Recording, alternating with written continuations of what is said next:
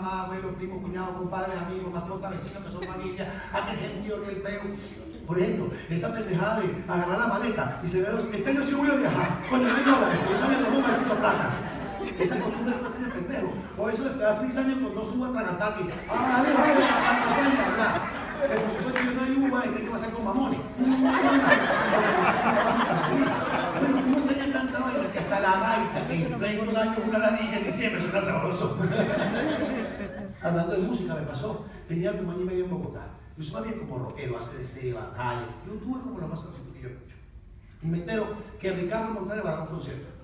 Para mi sorpresa, al día siguiente tenía la entrada en la mano.